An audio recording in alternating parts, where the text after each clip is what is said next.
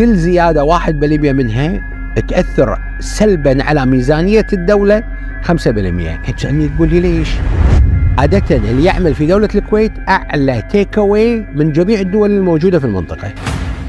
زائد عدم وجود ضريبة هذه طبعا تزيد فوق ال- البيع على قولتهم فوق البيع. عدد مهندسينا للسكان أعلى من عدد مهندسين اليابان لإجمالي سكانهم. مؤسسات أكاديمية بطيئة في التحول لأن إلى الآن مبنية على شنو؟ على نظم تقليدية كلاسيكية. زين أنا الحين آه، سويت قسم هندسة البترول. عنده واجبه زين الإنتاج اللي جاي أسوي؟ يعني كانت التعليقات غريبة جدا اللي كان يقول ماكو شيء أصلا اسمه ذكاء صناعي. أشياء يعني اتحفنا بردود غريبه مكون الإحصائي للبيانات. هذه عندنا فيها مشاكل.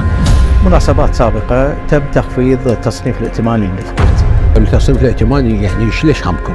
أنا أقول لك ليش.